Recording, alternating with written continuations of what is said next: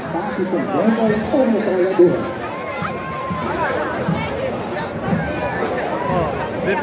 Dá pra ver por ali quando ele vem.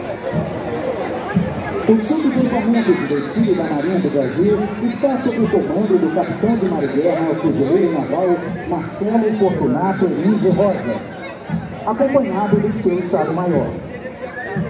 O grupamento é composto pela Banda Marcial do Corpo de Fuzileiros Navais, pela Guarda